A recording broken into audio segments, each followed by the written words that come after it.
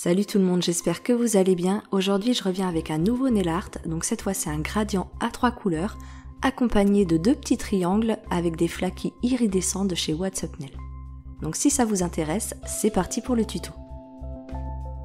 Comme très souvent pour les gradients, j'applique une base très claire et je protège ma peau avec mon latex. J'ai choisi trois vernis de la nouvelle collection Kawaii de chez Circolor qui est sortie il me semble le 28 avril. Je vous mettrai tous les liens et noms en barre d'infos si ça vous intéresse. Et je les applique sur mon éponge à maquillage et je n'hésite pas à les faire se chevaucher pour être sûr que mon dégradé soit bien fondu.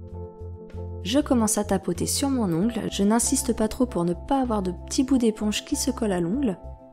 Je préfère faire plusieurs passages et je m'arrête quand le résultat me convient et que le gradient est bien opaque je peux retirer mon latex et nettoyer mes contours. Pour pouvoir terminer plus vite le nail art, j'ai mis un top coat à séchage rapide. Et je prends mes petits vinyles, vous pouvez prendre du stripping tape ou du scotch, et j'essaye de former un beau triangle. Je prends un top coat, j'en applique une couche dans le triangle, je retire les vinyles et sans attendre que le top coat sèche complètement, je prends mes flaquis iridescents de chez What's Up Nail, ils sont vraiment super beaux. J'ai pas encore testé sur d'autres bases, mais à mon avis ça peut rendre vraiment sympa sur euh, tout un tas de couleurs. Donc je les prélève avec un petit pinceau et je les saupoudre sur mon top coat encore collant.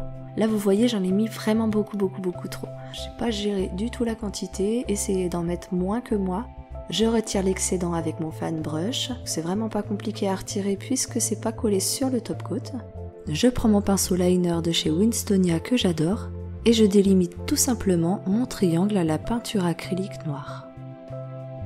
Une fois que c'est sec, je peux enfin poser mon top coat à séchage rapide. Je voulais aussi vous montrer l'huile que je mets en ce moment, donc j'ai reçu cette huile de chez Circolor. Elle ne sent presque pas ou vraiment très peu. Elle est euh, complètement naturelle. Je vais vous dire ce qu'il y a dedans. C'est de l'huile de noyau d'abricot, de l'huile d'avocat, de l'huile d'argan, vitamine E et huile d'arbre à thé. Donc euh, vraiment, c'est un coup de cœur en ce moment que j'ai.